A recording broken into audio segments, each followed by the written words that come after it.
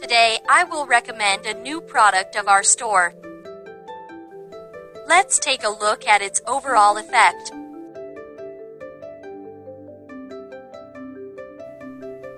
We can see that its magnetic attraction is very strong and the card will not fall out.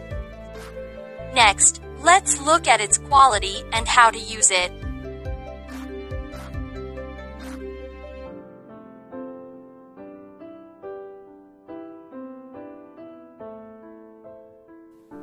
Here, you can put some cards and your ID card and cash here.